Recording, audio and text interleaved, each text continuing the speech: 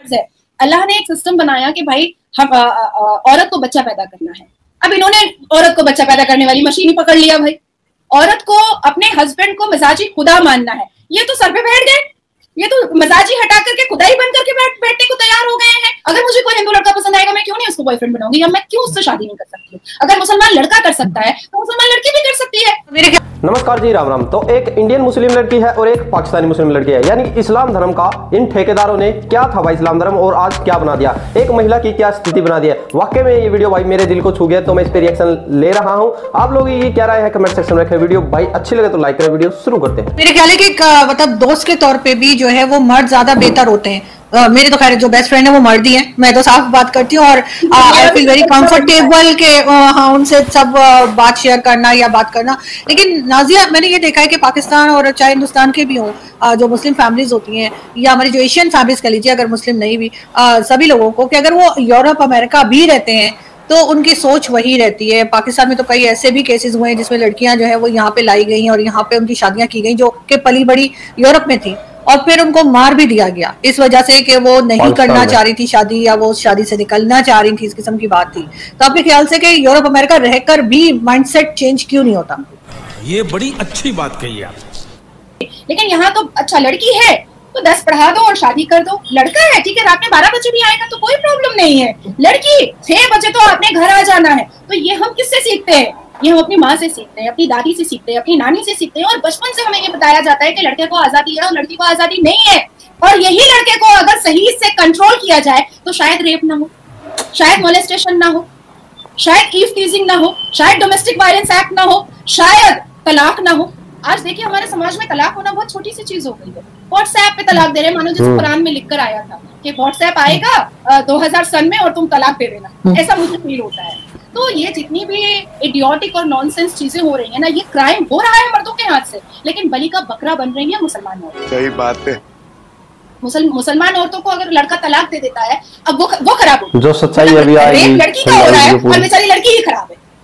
तलाकशुदा लड़की हो रही है जो मर्द दे रहा है लेकिन लड़की ही खराब है। ज़रूर तुम में ही कोई प्रॉब्लम रहा होगा जो तुम बच्चा लेकर के घर आ गई और वो फिर से अपनी शादी वादी कर करके मगन हो गया है। और भाई ये एक बच्चे वाली को कोई मुसलमान लड़का नहीं मिल रहा है। मुसलमान लड़के जब हिंदू लड़की से क्रिश्चियन लड़की से नेपाली लड़की से शादी करते हैं तो कोई कुछ नहीं बोलता है। लेकिन अगर मुस्लिम लड़की किसी हिंदू लड़के से या क्रिश्चियन लड़के से शादी कर ले या बॉयफ्रेंड भी बना ले अरे ये तो खड़े जहन्नमी है इसने तो जहन्नम का दरवाज़ा खोल ही दिया है बस। बस मरे के जहन्नम में ही जाएगी। तो ये जितनी पार्शलिटी मुसलमान औरतों के साथ होती आई है दिस इज़ हाई टाइम कि अब इसको चेंज करना बहुत ज़रूरी है शाबाश बेटा। बहुत बढ़िया। This is completely high time कि अब इसको चेंज करना ही चाहिए।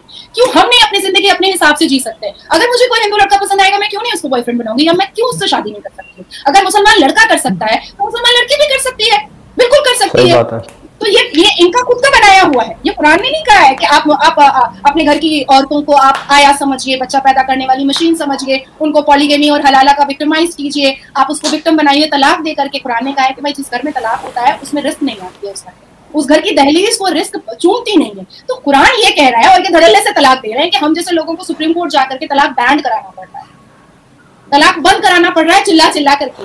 2017 में मैंने लेकिन दो लोग आपस में एक दूसरे को पसंद ना करते हो मगर रहते चले जाएँ वो भी तो सही नहीं है।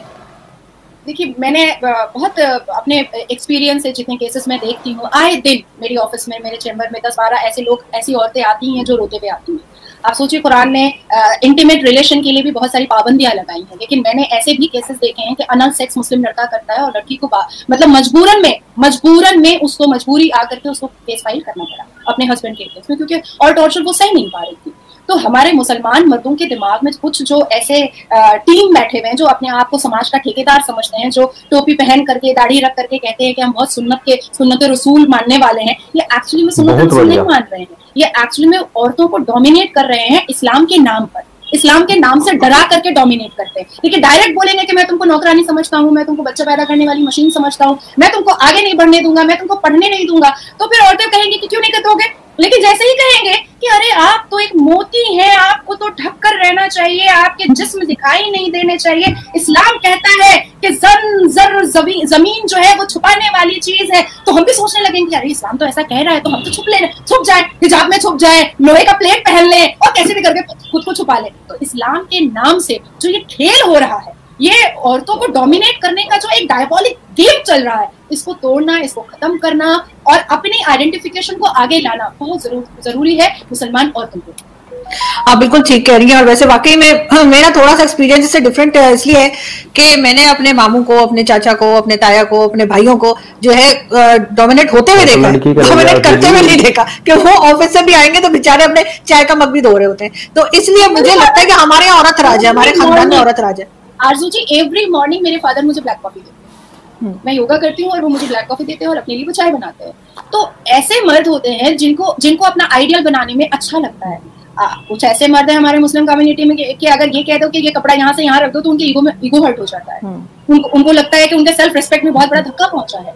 इवन मैंने आपकी कॉन्ट्रोवर्सी भी देखी बिंदिया और साड़ी वाला। तो लोग हम लोगों को जैसे टारगेट करके रखते हैं कि भाई तुम कुछ करो कि हम तुमको कंट्रोवर्सी का शिकार बना देंगे और अगर आप फ़ेमस है तब तो फिर आपकी निजी ज़िंदगी ही नहीं। बिल्कुल भी आपकी निजी ज़िंदगी आप जी ही नहीं सकती हैं आपको कोई अधिकार ही नहीं है कि एक फ़ेमस होने के बाद आप अपनी निजी ज़िंदगी जी सकती हैं। ये एक हवा बना दिया है बिल्कुल। देखिए कहीं ना कहीं मुसलमान कम्युनिटी ना अपने आप को उभारना नहीं चाहती। कहीं ना कहीं वो आ, ऐसा सोचती है कि हम इस तक ही ठीक है। ठीक है, हम जाहिल हैं, हम बहुत मतलब ऑर्थोडॉक्स हैं बहुत कंजर्वेटिव माइंड है माइंड वाले हैं, लेकिन ये सारे जितने भी बाउंडेशन है ना, आप स्टेप वाइज गिनिएगा, वो सिर्फ़ औरतों के लिए है। रमज़ान में, अरे रोजा नहीं रख रही हो? अरे भाई, तुम भी रखो, तुम्हारे ऊपर भी फ़र्ज़ है, सिर्फ़ मेरे ऊपर फ़र्ज़ नहीं अरे तुम कुरान नहीं पढ़ रही हो? अरे सिर्फ़ तुम मेरे ऊपर फ़र्ज़ नहीं है, तुम्हारे ऊपर भी फ़र्ज़ है। अल्लाह ने एक सिस्टम बनाया कि भाई, हम औरत को बच्चा पैदा करना है।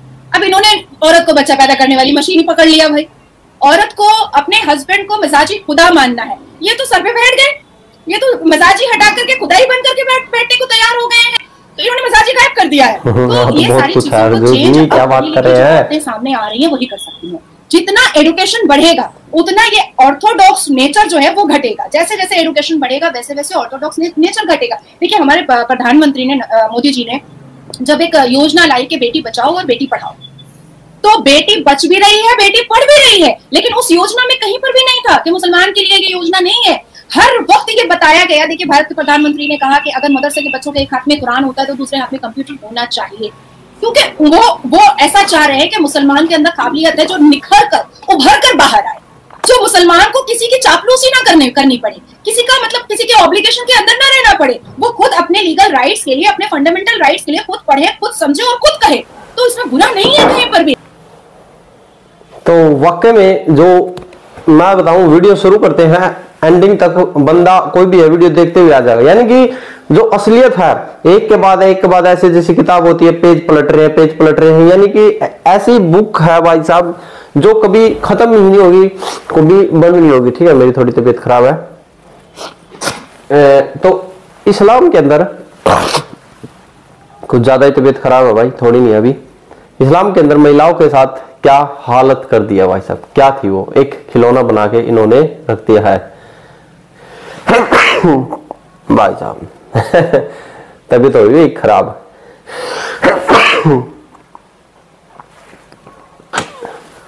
बस भाई, देखो आँखें भी कैसे हो गई है लाल तो जय हिंद, मैं थोड़ी दवाई ले लूँ। अक्षमा आप मांगूँगा आपसे कि मैं वीडियो कंप्लीट नहीं कर पा रहा हूँ, कि पूरी नहीं बता पा रहा हूँ, ठीक है? तो नेक्स्ट वीडियो एक और ऐसी मज़ेदार है भाई साहब। मौलाना की वो ज़रूर देखिएगा। जय हिंद।